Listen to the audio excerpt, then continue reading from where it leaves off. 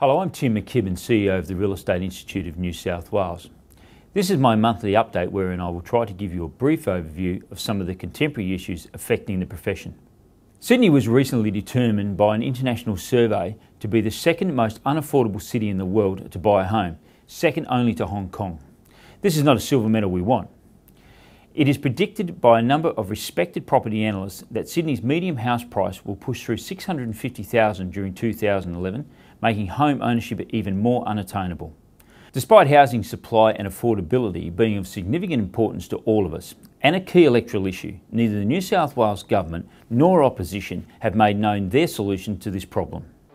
In the lead up to the state election, the entire New South Wales electorate will be looking to both political parties for a solution to the rental crisis and housing shortage throughout New South Wales. A long term roadmap including a review of the current planning framework, property taxes and government incentives for investors will be a key electoral issue.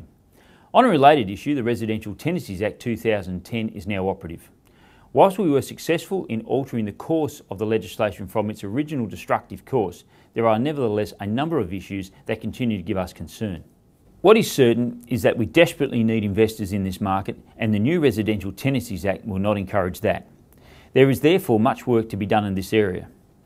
On a brighter note, commercial property in Sydney CBD recovered strongly in 2010 after its losses in 2009. The anecdotal evidence is that this strong performance is continuing in 2011. As the year shapes up to be a strong one for our industry, REI will build upon our successes of 2010 and continue to lead the way through 2011 with industry leading products, training and support for our members. To find out more, go to the website or find us on Facebook. Thank you.